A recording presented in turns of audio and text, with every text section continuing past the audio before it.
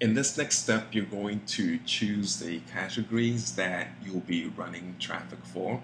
And uh, we've made this a very general name. So for example, a category could be a niche that you're running traffic in.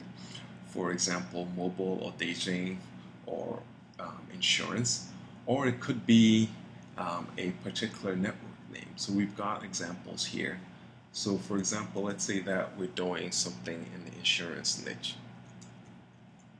We'll just put insurance and hit add.